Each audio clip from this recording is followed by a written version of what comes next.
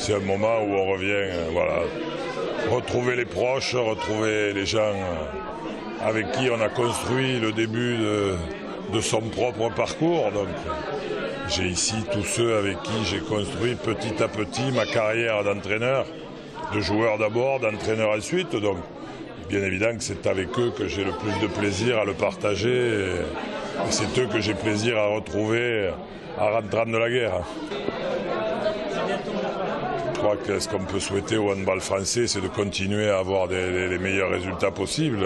C'est vrai qu'on vient de vivre une, une période exceptionnelle. On avait l'impression qu'elle risquait de s'arrêter et on se rend compte qu'elle elle redémarre euh, et elle redémarre avec autant de réussite.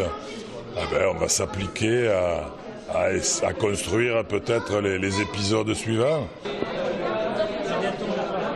Tant qu'on est mobilisé et utile, on continue à, servir cette mission avec euh, beaucoup d'intérêt, beaucoup de passion.